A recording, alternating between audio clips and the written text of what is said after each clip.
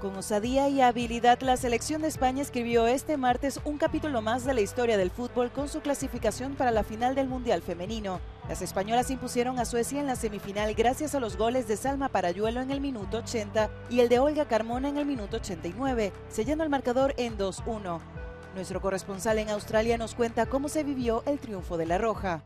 Jubilant Spanish scenes here at the FIFA Fan Festival in Sydney. This place a little less packed now, but before it was a sea of red and yellow for a semi-final that really lived up to the hype. And the Spanish fans won't have far to travel either for the final. Stadium Australia, just 20 minutes or so from where I am now. What a performance from them. Jorge Vilda's side have defied all the critics into the FIFA Women's World Cup final for the first time in their history. Samashu for Euronews in Sydney.